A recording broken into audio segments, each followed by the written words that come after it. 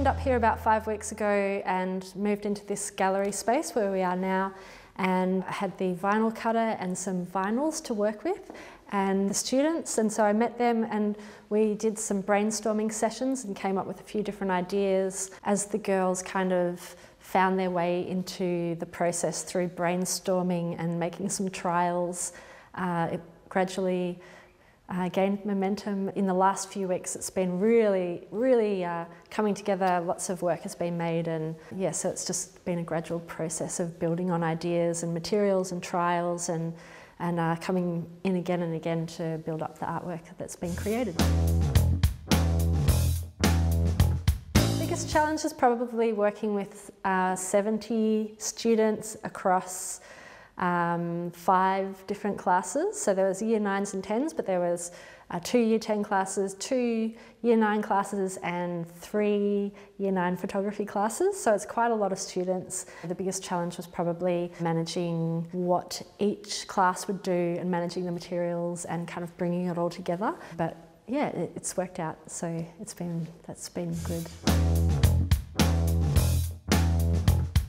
Installing process was really gradual and went over um, probably the last three weeks and um, I think that's been my role as experienced artist is that I could envision the space whereas the students might not have been able to see what the final product would look like. Um, so I kind of helped to guide them and worked with them and got them to come up with ideas and we worked together to kind of bring everything together.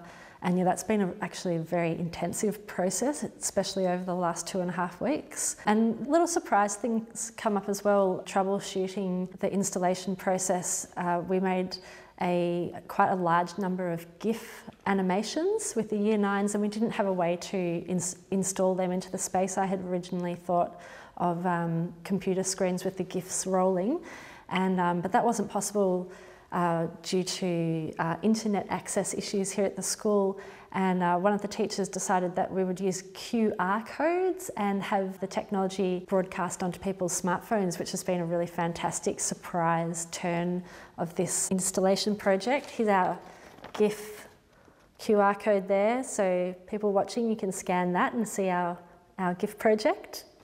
So yeah, you know, there's lots of, lots of surprises in the installation process.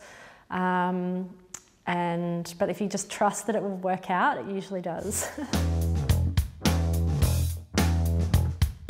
Opening was a little bit daunting. I didn't know how the parents would receive the work and I know a lot of the students hadn't experienced an art opening before so there was a few nerves but uh, once it got rolling there was some really fantastic feedback and it was lovely to meet the students' parents and see the students happy with their work and working with the students to create the work has been really an amazing privilege to be able to work with students like that and um, yeah it's that's been definitely the best part about it.